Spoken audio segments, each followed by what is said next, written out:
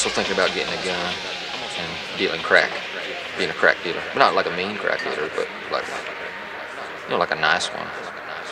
Just kind of friendly, like, hey, what's up, guys? You want some crack?